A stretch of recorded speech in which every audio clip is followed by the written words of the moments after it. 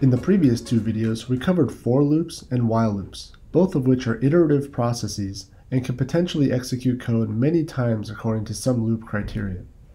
In this video, we'll introduce the if statement, which is simpler than a loop, but useful in many scenarios. An if statement is useful for executing some code as a result of checking some condition. It's very similar to the while loop, except there's no mechanism for iteration. That is, the if statement is a one and done type of procedure.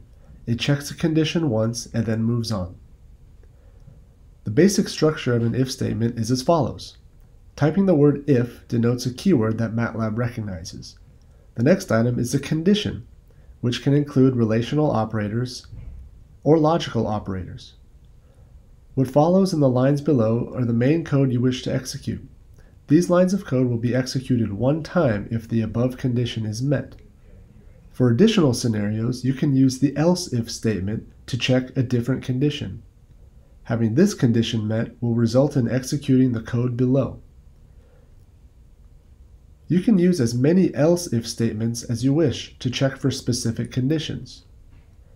You can also use the else statement as a blanket scenario in case none of the above conditions are met.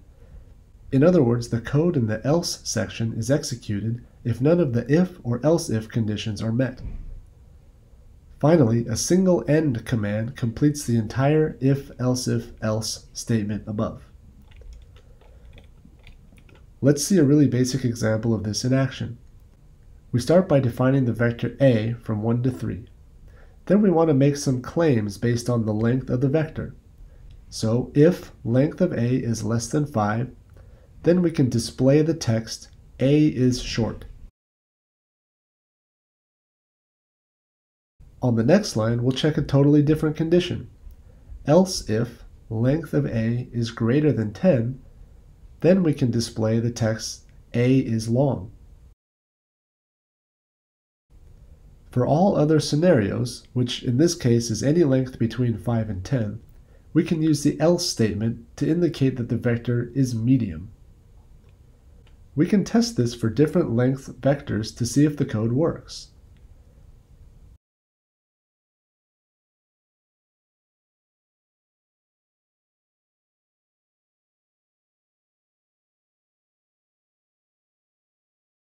Notice that each time the code is run, each line of code is only executed one time, and there is no iteration being performed.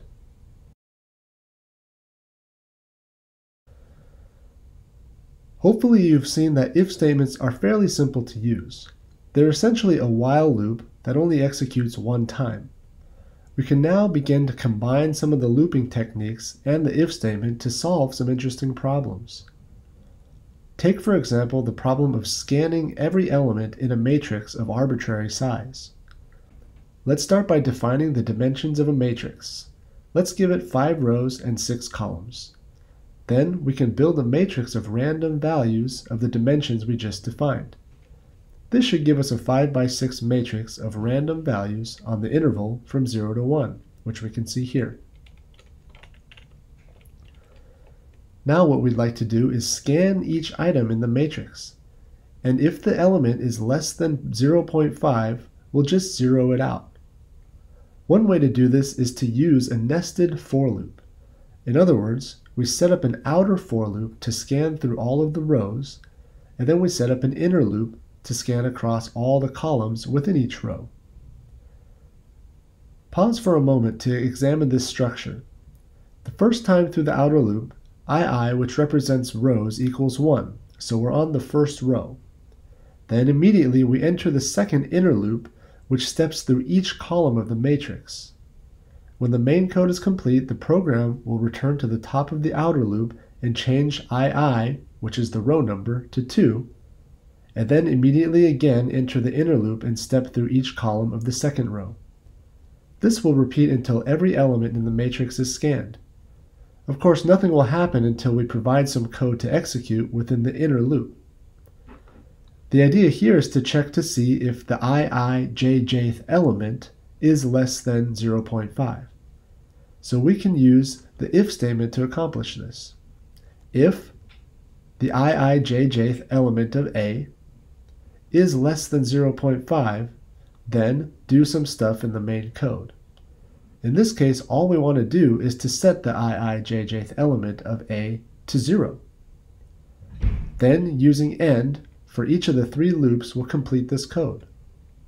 Printing the matrix A before and after the zeroing code demonstrates that we have indeed zeroed out all of the elements in A that were less than 0.5. Keep in mind that the dimensions of A don't matter because the way we set up the loop is for arbitrary size of the matrix A.